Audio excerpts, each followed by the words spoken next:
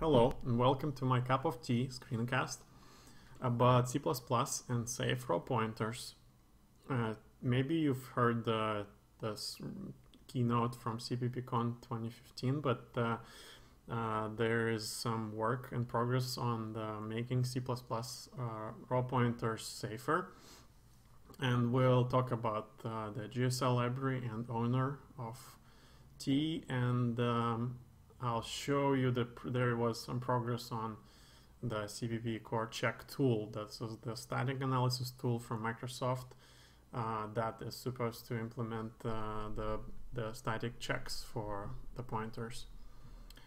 Um, so the safe raw pointers uh, deal, this uh, started with the CppCon uh, 15, 2015 talk by Herb Sutter. It was a keynote uh, writing good C++ 14 by default. I recommend you watching watching this uh, keynote if you haven't yet. But uh, really, it introduced this um, set of tools. It introduced this paper and the formal model and, this, and the static analysis tool that will be part of Visual Studio uh, that can um, make uh, raw pointers safe in addition to checking other uh, checking other other rules, uh, it can make uh, it can guarantee that uh, you will not have dangling pointers and that you will not have memory leaks in your C++ program, even when you are using raw pointers, that is non-smart pointers. Um, why uh, why is this um, important for C++? I think, well, uh, there are some obvious reasons that uh, this would make uh, C++ a much safer language that uh, a lot of crashes and memory leaks uh, currently can be prevented uh, in compile time. It can also make C++ faster because if people will feel that raw pointers are safer, they will use them more often. And instead of smart pointers in some cases, they can be used safely and this will uh, improve performance because raw pointers are you know ide ideal for the high performance code. They fit into the registers. The compilers can uh, really write some optimized code if you're using pointers directly. And um, I think some, maybe some other reasons for C++ doing this uh, work is the competition from other languages as well because uh, the in the papers. So, for example, they point out uh, related work by um, C Sharp team. The if you if you're reading Joe Duffy's blog, uh, he's blogging about this Midori and C Sharp for systems programming. And uh, one of the blog posts he has this diagram. And of course, you know there's disclaimers that um, there's many more dimensions to compare uh, programming languages. There is not just performance and this is really um, very all very arguable, but um, approximately you can say that there are some languages currently that are more uh, they're more uh, aiming towards safety and productivity, and there's languages that are traditionally uh, prefer prefer uh, performance over uh, safety of the code. And there there were some changes. So for example, in this post, this is a long post about how C Sharp uh, was uh, changed to create a more, a more, a faster language for system programming. So this is basically about you know C Sharp moving towards this uh, this red uh, goal here. But also, if um, you know C++ was re recently moving towards the more safer part here, and with GSL and with the new uh, lifetime pointer rules and static checks, you can say that C++ is also aiming uh, here for this uh, safety and productivity part. Uh, there are also, you know, were other languages like Rust and Go, some of them with garbage collector, some without garbage collector, but they are all kind of competing uh, for this uh, this spot now. So this is really important that C++ is is working on this because this is a fundamental change for the language. Um, it was traditionally associated associated with you know, non-safe pointers and kind of uh, problematic um, correctness with regards to memory operations and you know you need to do this painful code reviews and uh, to to make sure your uh, allocations are correct um, so what's what's been part of this keynote talk by uh, they've uh, published uh, two papers uh, they are on ISO-CPP GitHub in the docs there is introduction to type and resource safety PDF and there is a lifetimes PDF. Uh, they are, you know, just published as PDF, so I guess not accepting uh, pull requests still. But uh, um, I really recommend uh, reading this introduction PDF because this it is really written uh, more for um, just just uh, reading without much you know formalism. the other doc is more formal, so just for brevity, I recommend you know reading the whole doc. But uh, for brevity, there's a few um, parts that I can highlight. So the basic idea is that uh, they are proposing this new type, which is uh, called just owner, and uh, this owner type is really just a transparent, um, just a transparent wrapper. So owner of X is just X. So you can write owner of T star and it will be just T star. There's no uh, ABI uh, compatibility problem. Um, this is not a real type, but uh, it's only used for static analysis. And the idea is that you can have uh, multiple pointers to anything, but only one pointer at uh, each moment in time will be uh, the owner. And then the static analysis tool can make sure that uh, this is this invariant holds true. You get an owner pointer from you. Uh, you can pass, you can give the, you can move the ownership, and then at the end you must uh, somehow de delete or you know free that uh, owner. Uh, then there is a, set of very simple rules that every owner pointer in your code should will be marked as owner of T star new returns an owner. Um, the, the static analysis will make sure that every owner is deleted or transferred to another owner and there is never an assignment from non-owner to to owner so basically the good old uh, t star becomes uh, non it, it will have only one meaning a non-owning pointer to t uh, so the, the difference is that currently in the in the current code T star can mean both. Like you can sometimes it depends on the convention of a particular API, right?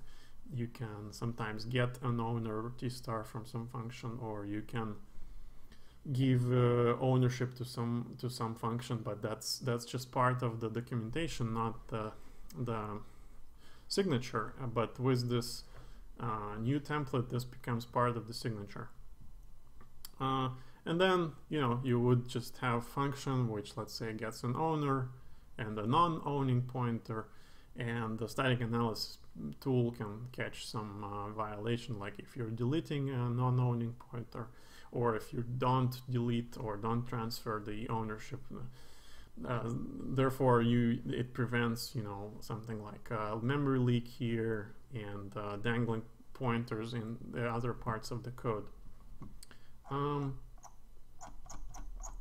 so other parts here is um, this interesting paragraph here that uh, actually uh, owners, owner annotations are supposed to be rare. So normally the language will be designed in such a way that uh, most of the owner annotations will be hidden inside the libraries. You actually they will they the authors expect that you will not need to annotate many pointers with this. You will, you know, normally think a thousand plain pointers or non-owning pointers for each owning pointer. So normally they expect that very rarely you will actually see uh, owner annotation in your code, which is interesting. And one of the reasons is that um, actually they still recommend that uh, for the real ownership you would use um, something like a container or a unique, unique pointer or shared pointer. And the reason for this is um, the exceptions ex exceptions and uh, RAII uh, approach because um, owner of uh, T star is still is still just a naked pointer. And so if you just create and keep uh, an owner of T star without the destructor handling the the delete you can still leak. You can can be still leaked because if you just have like a new int it can still leak because there's something that might throw. So the the recommendation in this case would be to just use you know make unique and then inside make unique the the implementers will actually use the owner annotation. So the static analysis tool will know that okay the owner is still here uh, and then it can it can run the checks when you just give someone let's say you will give someone a non-owning reference or non-owning pointer to this uh, to the object inside this unique pointer then the static analysis can uh, just check that uh, everything is correct in that code. So this is like a 19 page document here uh, by Bjarne Herb and Gabriel dos Reis um, on ISO CPP. And then the other document here is uh, more formal lifetime safety description. Uh, this really this just goes really into details about this model and how it's implemented. There's some kind of uh, sets for each pointer, for each variable, uh, what uh, you know states it can be in and this kind of state machine that can that that that works through several or like many examples and uh, proves that uh, they, they, they, can be handled.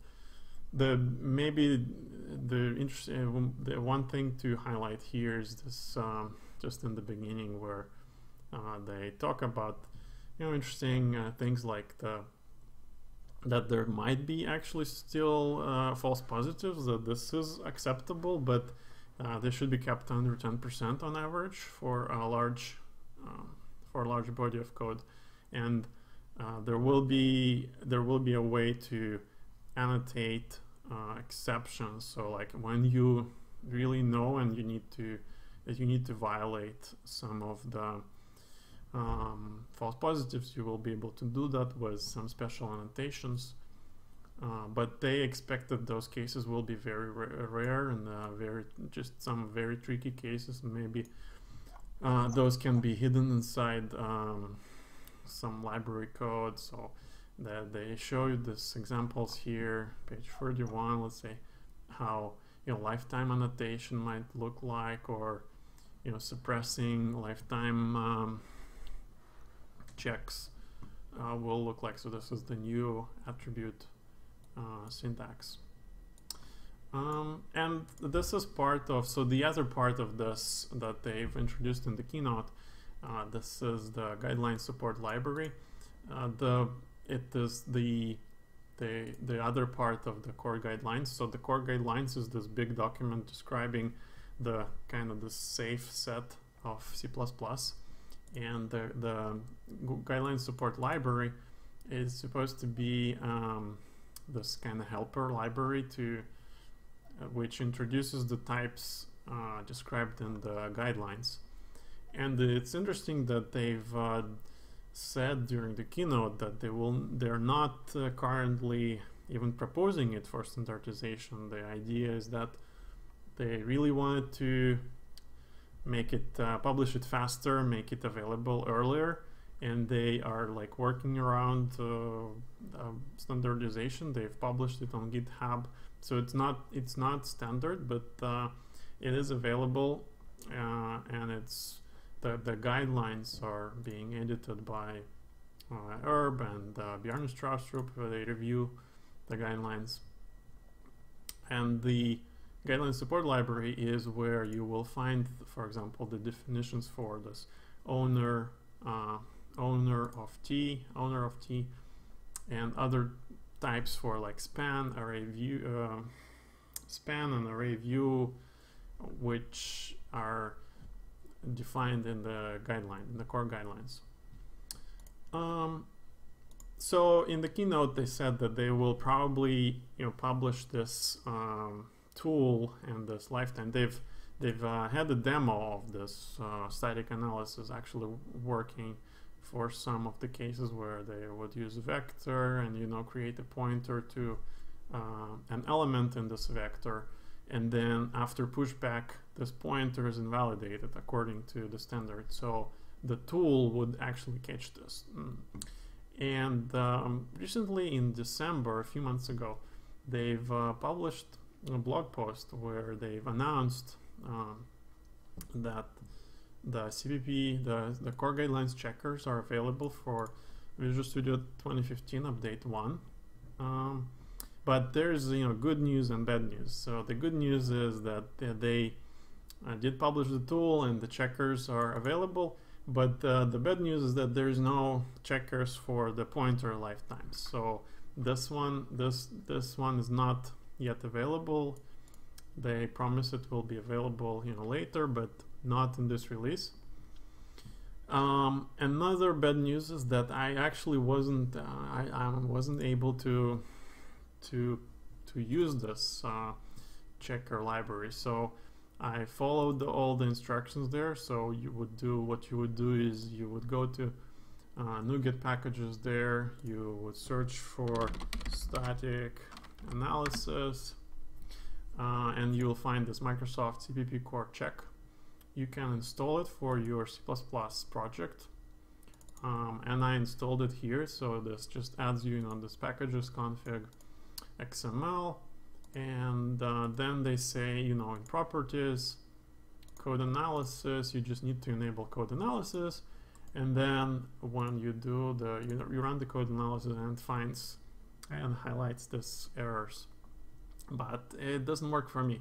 I am using though I'm using Visual Studio 2015 update 2 but it's a release candidate so maybe there's something disabled or maybe something doesn't work. They have only said you know they've checked it only with uh, 2015 update 1 so maybe there's uh, some problem but um, anyway there is no check for the pointer lifetime yet uh, the the checks that they have currently something like you're using uh, you have an uninitialized uh, variable uh, variable and you're using you know you're, you're using a pointer to uh, decayed decayed array and um, don't use pointer arithmetic. So that's that's their example. I tried the same code and I tried the vector code but um, unfortunately there is no there's no warnings here, but um, let's hope that this will eventually work. And um, I hope you enjoyed this cup of tea. See you next time.